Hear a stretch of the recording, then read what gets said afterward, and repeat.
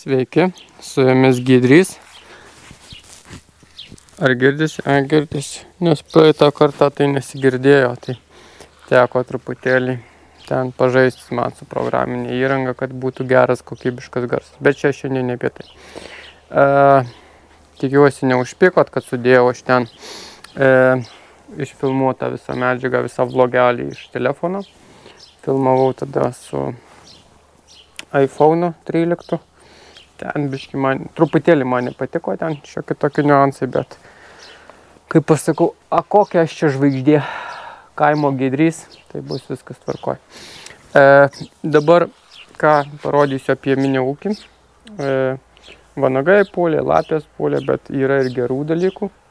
Tai pasidarė mes, e, ką, nu tai parodau apie minį ūkį, po to įsiu parodysiu, ką užsimsiu šiandien daryti.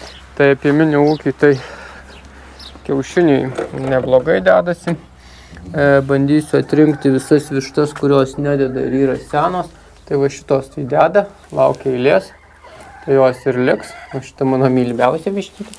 Mi, mi, mi, mi, mi, mi, mi, mi. Tai, o kurios jau yra senos, tai nevarysiu ūkio į bankrotą. Kad ir e, pomėginis ūkis, bet pabandysiu aš jas ir konservas, triušiai triušiais e, tvarkomės. E, patinas tas, kuris nevaisingas buvo, tai matot, jo jau nebėra. Ruošiamas dėti į konservas.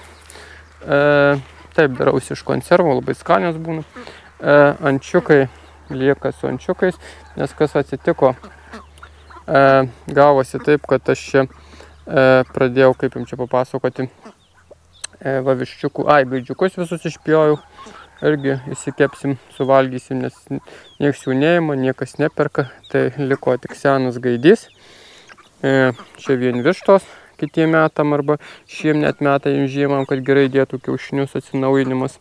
Mm, čia nežinau kas. Tai va vištas visas nededančias. Antys lauks savo eilės, žiūrėkit, prieš mėnesį buvo ančiukai, dabar va jau kokios antys. Mm, gaidys, tu išgyvenai lapės ant pūlūdį. Tai gyvensi taip ir toliau, nieks tavęs nekibins. E, ta britki triušė, o va šitą atvedė jauniklių, parodysim. Ta bjauri triušė mano vaikydų, o va šitą gražiausią triušę. Tai va, turėjai tą patiną savo vyrą, bet tas vyras nevaisingas buvo. Bandė, bandė daryti tau triušiukų, bet nepadarė. Nupirksime tau kitą vyrą. Neperkime. Gerai skamba, nupirksime tau kitą vyrą. Dabar noriu pasirodyti. Va. Vištos deda kiaušus. Labai šaunu. Aikiščiu. Filmuoju. Aikiščiu. Tai va. Va noriu pasidžiaugti va šitų dalykų. Va. Atidengsim, parodysim. Va, matot, 10. Yra triušiukų. Va, matot? Va, fainuliai. Čia nuo to patino, kur papjovė lapės, bet patelės nepapjovė. E, dvi patelės vaikingas papjovė, bet vienos nepapjovė. Tai va. va, o šitie auga štai taip va. Septynetukas. Jūs bandysim biškai truputėlį kitaip auginti. Ar gerai, ar bandysim kitaip auginti. Ar bandysim bailiugos kitaip auginti. Kitaip bandysim auginti jūs. Taip? Konservos, augančios konservos. tai va, juos truputėlį kitaip auginsim, papasakosiu arba parodysiu geriau. Va šita višta labai gerai deda kiaušus. Ar pasiteisino mano kamuoliukai? Oi. Tu dar didi. Gerai, gerai, nelendu. Jo, kamuoliukai golfo pasiteisino, nes e, nereikia palikinėti kiaušinio. Užtenka palikti va vieną kamoliuką golfo ir toj pačioj vietoje deda vištos vakiaušinį. Na, čia biškai du kažkur netem papulė. Tai va. E, šiandien tris triušius irgi sutvarkiau. E, nesakau, nebeišlaikau. Po, da, ta prasme, išlaikyti išlaikyčiau, čia viskas tvarkoja, bet labai minusą neša daug grūdų sulėse. tada, kai papjoviau tą vieną triušę, tai va šita, kur nebuvo prileidžiama, jau va šitam aptvare gyvena ir būna. Tai va, nes nu, visą laiką buvo išvyta, nes patelės labai didelę konkurenciją daro. Dabar, kas liečia triušius, tai auginsiu tik savo, savo poreikiams, savo šeimai, savo artimiesiems, pardavimui ne. E, kodėl? Aš visą laiką žemesnė kaina nei rinkos parduodu. O kaip man tokios nesėkmės atsiranda, tai aš varau į minusą. Tai geriau man neauginti, nes grūdai žiauriai brangus, pabrangę. E, tai ko jau išsikiuoti? Kokį. Tai kadangi grūdai yra subrangę, tai dėl tos priežasties sakiau, auginsiu tik savo triušius. Tai va, jei užaugs dabar, tai septyni triušiai mažučiai ir va 10, jeigu tų gimusių užaugins, tai va 17, tai viskas. E, pasilieku tik tą patelę, kur sakiau, kad nepjausiu niekada. Jinai čia ir gyvens. Ir dar tas kelias pusė auginsiu, o visas kitas reikės, sakiau, likviduoti. Gal parduosiu, nes man jau ir konservų užteks ir visko. Tai e, toliau. O, matot atlikė. Kokia fainulka. E, vištos, kurios nededa kiaušinių, irgi jau čia tasosi pas mane 22 vištos, o kiaušinių kiekvieną dieną 10. Tai vat reikės atsirankioti, kokios vištos deda, kurios nededa, pasižymėsiu su dažais ir atrinksiu taip dedančias vištas ir nededančias vištas. Tai, va, tai tiek e, bendrai apie savo visą ūkį. E, ai, dar nežinau šimtų procentų, bet manau, kad meškutė atvedė vaikutį blogai. Taip blogai. Aš žinau dėl ko. Liepos pabaiga. Jis jau bus biški paskūręs. Tai faktiškai Danielius, jeigu atveda Liepos, nu dar ant ribos, bet šiaip jau jie būna užskūrę. Jei rūpiučio mėnesį atvesti jaunikliai, tai tokias patelės reikia šauti. Tai. Tokis dalykas, bet nieko nebepakeis. Svarbu atvedė. Tai va dabar turėsiu, turiu jau du jauniklius, jeigu viskas gerai. E, Tai karamelės ir meškutės. Tai faktas tas, kad jau būsiu Danielių virkas, jau Danielių turėsiu pakankamai. Tai Dabar kas liečia mano ūkio reikalų, ne ūkio, bet kaip čia, e, garažo reikalus. Tai vat e, bandome kalti skylę, vat nuo čia iki čia ir bus įėjimas į katilinę. Tai va. Čia duris susitvarkysim truputėlį kitaip. Prie, perdarysiu visą šitą, kaip jums pasakius, erdvę. E, filtrai jau yra išnešti. Gal pasakau, gal krodžiu. Jau tas rūsys ir užkraulintas, jau pilnas. Tai va, pabandysim va, per čia iš, padaryti čia duris. Va, boileris dar neišneštas, bet greitų metu pabandysiu aš jį atsukti ir kad kai jau turėsiu visus komponentus, gal pirmanį susipirksiu, tai viską iš karto perjungiu į apačią. Nes čia dar reikės man ir dviejų kranų šilto ir šalto vandens būtinai, e, va tokių. Nes aš kaip turiu ūkį, tai man čia labai gerai žiemą prisipilti vandens. Nereikia į kambarį vaikščioti, ten darinėti, su purvinais rūbais arba darbiniais atėjai prisileidai vandens. To. Apie apšildymą, čia ačiū, kad patarėt kai kas. Sakėt nešildyt, tai gal ir nešildysiu, o gal. Nes iš lauko tai šildyti negaliu. Mm, kodėl negaliu? Neleidžiu biudžetas. Ir, nu, gražiai ir taip atrodo šitas namelis. Tai kam jį dar čia termozint, pinigus investuoti. Tai tokias dalykas, tai dabar va čia išsikalsiu. Ir va čia bus pagrindinės durys, aš jas perdarysiu. Man jos nepatinka šitos durys. Kodėl? E, todėl žiūrėkit, buvo tiesa. Matot? Tikrai matot. Taip. Susilenkė. Jei darysiu ką nors, va, matot, čia gerai priglūdė, čia atsivėpia, čia atsivėpia. Jei darysiu, o perdaryti reikės, čia paimsiu šitą pačią, šitą pačią, o va šitą karkasą įdėsiu metalinį. Tada bus viskas. Metalas, metalo profiliukas įsidės ir turėtų būti gerai. nežinau kaip čia dėti, ar, ar ant medžio. Nors gal gerai ir ant medžio. Čia biškai prašveist, prašlifuoti. Ir bus gerai ir ant medžio. Tai va. Ir padarysiu iš metalo karkasų, nes medis įsilinkė. Nors suleidimai, aišku, čia paprasti padaryti, bet jie vis tiek netarnavo man ilgai. Čia du metai šitam turim. Tai apšildytos viskas gerai, bet, bet reiks daryti metalą.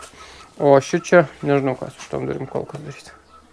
Gal darysiu automatinės, gal, bet visur finansai. Tai gal užteks ir paprastų durų. Tai. Gerai, gana čia termozint, einu bandyti išmušti tą skylę, atsipjauti, nes norisi įsidėti metalinės duris, čia kur iš tėvų parsivežiau, tai aš jį įsidėsiu. Kad... Kai neturėjau aš lazerio, tai man jo kaip ir nereikėjo, bet žinokit, kaip nusipirkau iš kiniečių šitą lazeriuką, tai aš dabar jį visur naudoju, net ir rozetėm pastatyti ir, pavyzdžiui, atsipjauti sienos. Labai lengva, vat, įsijungi, aišku, čia yra keli režimai, bet čia jūs gal daugiau žinot ir išmanot negu aš, va, čia paspaudus, va, dar ir va šitą erdvinis atsiranda lazeris, čia tik lygio lazeris, va čia dar paspaudė, atsiranda ir šitas. Tai va ir labai labai labai patogu, va, paimi, pasižymi, kur, kur turi būti tavo pjūvis. Va. Va, matot.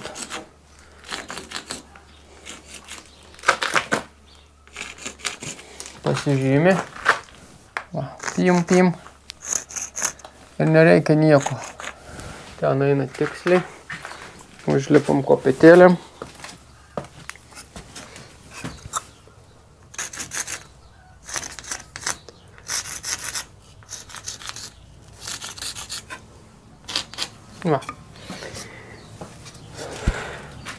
Išjungus lazerį.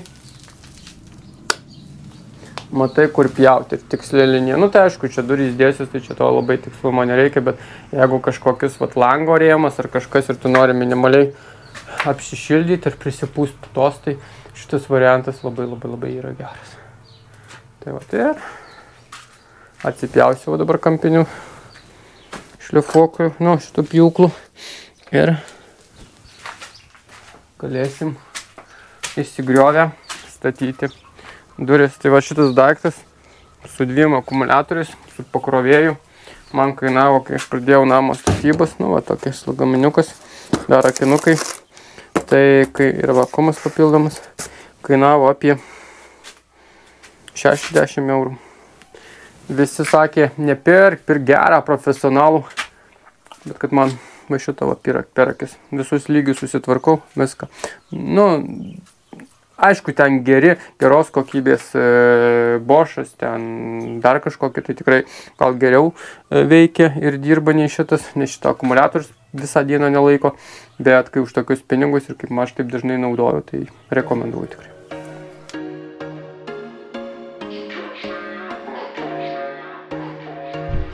Truputį nepagalvota reikėjo viską įsinešti tamsu net. Ir net kamera apdulkėjo. Tai galvau, timelapsą padarysim.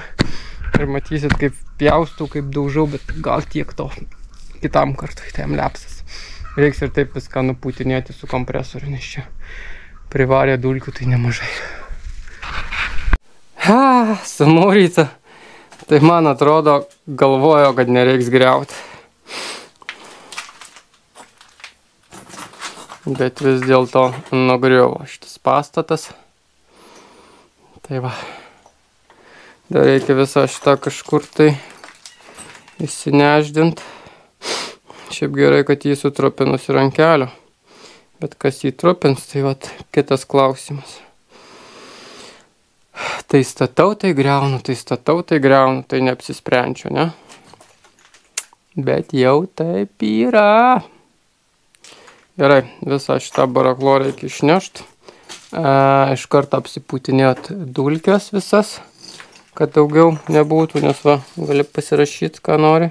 Daug pridulkėjau. Tai su kompresoriu apiputinėsiu ir bandysim statyti duris. įsistatysim duris, prisigręšim, prisitvirtinsim ir machrucha, machrucha, machrucha. Mm, darysiu į va šitą pusę atidaromas. Tai va, šitas paveikslas maišės, tai mes jį patrauksim. Čia lenta mokymai turėtų nemaišyti. Tai mokinsim jūs YouTube. ne, čia, čia, čia, čia, čia savo. Nu, gal kas žino. Gal tu eilės, gal ne. Bet žiūrėkit. Opa! Jau yra skylė. E, trys karočiai va tokios smulkios skaldelės. Ir vat vienas pilnas kaušiukas mano mini traktoriaus. Matau, kad jau, jau, jau, jau. Tai reikia greitai viską susinešti nes tuoj gausim lietaus ir gan stipriai. Tai žodžiu šutint, jau gerai va, jau ateini.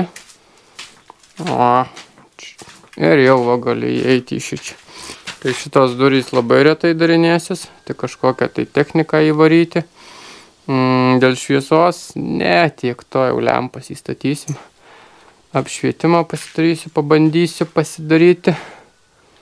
Jo, ir, ir, ir viskas. Daugiau ką.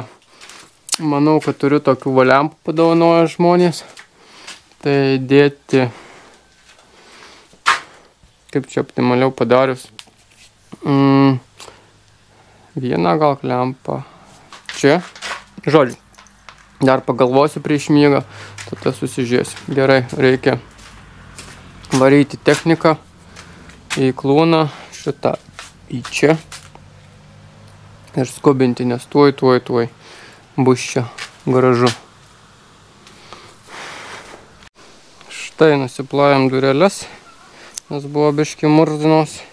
Šitas duris e, atidavė tėvai, jiem nereikėjo, jie iš kažkur kit, a, keitė duris, man atrodo.